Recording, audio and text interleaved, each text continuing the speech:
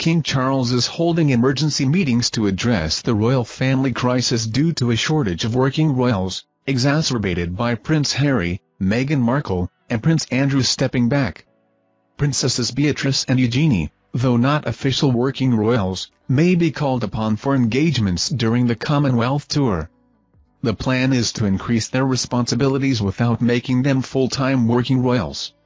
Both sisters have independent careers and families, the official portrait revealed an aging royal family, with only Prince William and Princess Kate under 50. Prince Edward and Duchess Sophie are the next youngest in their late 50s.